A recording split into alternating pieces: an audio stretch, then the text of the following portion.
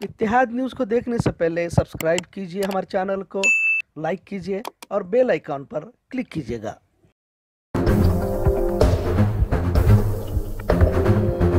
अस्सलाम वालेकुम रहमतुल्लाहि व बरकातहू इत्यादि न्यूज़ में आप सभी का खैर मकदम है अहम खबरों पर एक नज़र।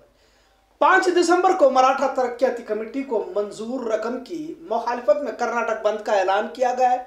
कन्नड़ तंजीमों का बंद कामयाब होगा या नहीं, ये एक सवाल। तकरीबन बेलगाम शहर और अतराफ के आवाम के सामने है, क्योंकि मराठा समाज के तरक्की के लिए, रियासत की जानिब से 50 करोड़ रुपए मंजूर किए गए हैं, लिहाजा मुख्तलिफ़ कन्नड़ तंजीमों को एतराज़ है और इनका कहना है कि जो मराठी माशरा हमेशा महाराष्ट्र की पुष्टपनाही करता है। इनको महज सियासी मुफाद हासिल करने की नीयत से 50 करोड़ की इमदाद मंजूर करना बेहद अफसोसनाक कहा जा रहा है। कन्नड़ रक्षण वेदिके ने सख्त अल्फाजों में मजम्मत करते हुए हुकूमत से सवाल किया है कि इतनी हमदर्दी अगर येड्रप्पा हुकूमत को लॉकडाउन के वक्त कन्नड़ शहरियों को दिखती तो शायद हम रोज़मर्रा की चीज़ों के लिए ना तड़पते, ना मरते।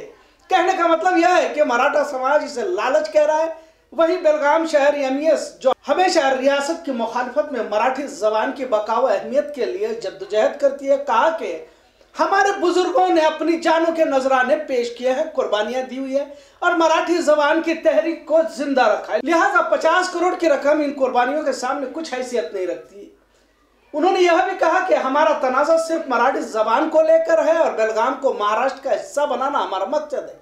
कुछ तंजीमों ने हुकूमत के इस फैसले को इसलिए भी रद्द किया हुआ है कि न सिर्फ़ मराठी बल्कि लिंगायत और दिगर समाजों को तरक्याती कमेटियों को इमदाद मंजूर करने से बेहतर है कि इन्हें रिजर्वेशन का ऐलान करें। खानापुर की एमएलए मोहतरमा अंजलि निम्बाड़कर ने कहा कि मराठी माशरे ने टू ए में लेने की मांग की है, लिहाजा अगर 500 करोड़ की भी इमदाद देते हैं तो मराठा या लिंगायत को इसकी ज़रूरत नहीं है। यह सियासी मुफात हासिल करने के लिए महज लालच है। ऐसा भी कहा, अगर इनकी मांग को कबूल नहीं किया तो आने वाले इंतबात में अवाम वोट भी नहीं करेगी और इसका बायकाट करेगी, ऐसा इशारा भी दिया। अब जब कन्नड़ तंजीमों की जानब से येड्रोपा हुकूमत को 50 करोड़ के मराठा माशरा तरक्याती इमदाद मंजूर की है, इसे वापस लेने का मुतालबा किया जा रहा है। अब इसी दिन रियासत की जानब, यानी कि 5 दिसंबर को रियासत की जानब से बेलगाम में बीजेपी पार्टी मीटिंग भी तलब की गई है। जिसके लिए वज़ीर आला येड्रोपा शरीक भी होंगे। क्या वाकई कन्नड़ मराठी तंजीमें नाराज़ है?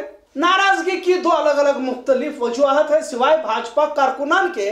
मराठी और कन्नड़ नाराज़ नज़र आ रहे हैं। पाँच तारीख का बंद क्या असरदार होगा या नहीं, ये तो कन्नड़ तंजीमों की शिद्दत पर ही देखा जा सकता है।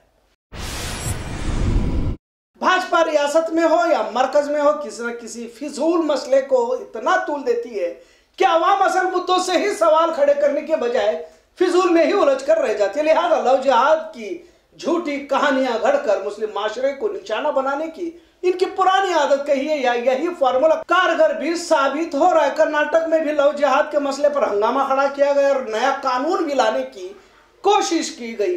कुछ रियासतों में अगर मुस्लिम लड़का हिंदू लड़की से शादी करता है तो पाँच साल की सजा तक का प्राविधान रखा गया। यह भी अजीब मामला है कि अगर मुस्लिम लड़की हिंदू लड़के से शादी करती है तो घर वापसी, और अगर मुस्लिम लड़का हिंदू लड़की से शादी करता है तो लव जात खैर इस मामले को लेकर कर्नाटक हाईकोर्ट ने एक अहम फैसला सुनाते हुए कहा कि अगर को बालिग लड़का या लड़की अपनी मर्ज़ी से शादी करते हैं तो कोई जुर्म नहीं है, और ना ही किसी तरह का लव जिहाद है। कर्नाटक हाईकोर्ट ने हुकूमत कर्नाटक की तरफ़ से लव जिहाद के मुतालिक कानून लाने की तैयारी के दरमियान हुकूमत के साथ हिंदुत्व तंजीमों को भी ज़बरदस्त झटका देते हुए यह फैसला सुनाया और कहा कि आईन हिंद के मुताबिक किसी भी मर्द औरत जिसकी शादी की उम्र हो चुकी हो, इसे यह बुनियादी हक हासिल है कि अपनी पसंद के शरीक हयात का बिला लिहाज, मज़हब, रंग नस्ल इंतखाब करे। हुकूमत की जानब से लव जिहाद के नाम पर हंगामा खड़ा कर कानून लाने की कोशिश के दरमियान यह फैसला निहायत अहमियत का हामिल है।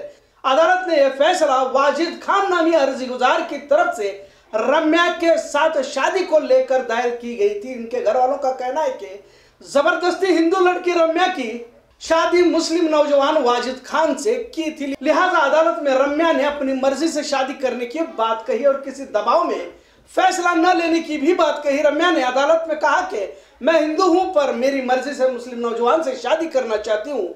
लिहाजा अदालत ने तारीखी फैसला सुनाते हुए कहा कि बिना किसी जात मज़हब जबान के अगर कोई भी किसी बालिग मर्द या लड़की शादी करना चाहते हैं तो इसे बिल्कुल इजाज़त दी जाए।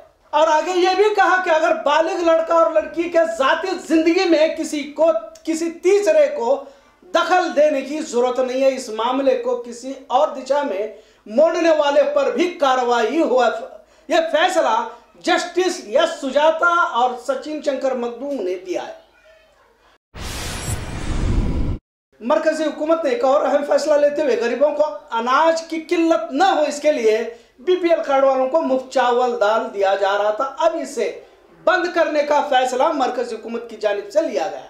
लॉकडाउन कोरोना दौर में रेशन दुकानों के ज़रिए राशन दिया जा रहा था, जो अब बंद कर सिर्फ़ रियासत की जानब से दिया जाने वाला राशन ही मुहैया कराया जाएगा। वैसे तो मोदी हुकूमत की जानब से कई सारी स्कीमों, योजनाओं का ऐलान भी किया गया था। आखिर कुछ महीने मरकजी हुकूमत की जानब से अनाज दिया जा रहा था, जो अब बंद कर सिर्फ़ रियासत की जानब से मिलने वाला राशन ही राशन दुकानों में दस्तियाब होगा।